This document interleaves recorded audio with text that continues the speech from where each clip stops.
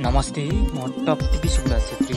हाम्रो च्यानललाई सब्सक्राइब गरेर हामीसँग छु बलात्कार अभियोग लागेका अभिनेता पहल शाहको मुद्दाको फैसला अन्तिम चरणमा पुगेको छ। तनहुँ जिल्ला र नवलपुर जिल्ला अदालतले अन्तिम सुनाइका लागि पेशी तोकिएको जानकारी पाएका छौँ। दुई अदालतमा एक साताको फरक पेशी तोकेको थियो। पहलसाका कानुन व्यावसायिक अधिवक्ता कमल मन वाक्लेले गत चौध गते मङ्गलबार जिल्ला अदालत तनहुँमा पेशी रहेको जानकारी दिएका थिए। यसअघि अदालतले साँची बुझ्ने तथा प्रतिवादीको बकपत्तो गराउने कार्य पनि गरेका थिए। त्यसै जिल्ला अदालत नवलपुरले पनि एक्काइस गतेका दिन पेशी तोकिएको थियो। दुई अदालतमा छ दिनको फरक पेशी रहेको जानकारी दिएका थिए। अब आउने एक्काइस गते पहलसाको मुद्दाको फैसला के हुन्छ त? हामी यस विषयमा कुराकानी गर्नेछौँ।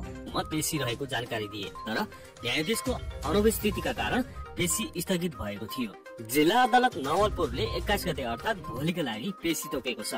भोलि एक्काइस गतेकै पेशीमै अदालतले फैसला गर्न सक्ने अधिवक्ता वाग्लेले बता- बुझेको छ तर न्यायाधीशलाई थप केही बुझ्न आवश्यक लागे अन्तिम फैसला नगरेर कुनै प्रमाण माग गर्ने आदेश गर्न पनि सक्छन् नाबालिग गायिकाले बलात्कारको आरोप लगाउँदै जिल्ला अदालत तनहुँ र नवलपुरमा पल विरुद्ध जाहेरी दिएकी थिइन्। जिल्ला अदालत तनहुँले चैत दस गते पललाई थुनामा पठाउन आदेश दिएको थियो। नवलपुरले पनि उनलाई थुनामा पठाउने आदेश नै दिएको थियो।